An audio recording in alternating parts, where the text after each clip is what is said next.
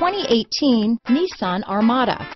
The Nissan Armada seats up to eight comfortably, boasts an Endurance V8 engine with 317 horsepower, 385 pounds of torque, and 9,100 pounds of maximum towing capacity.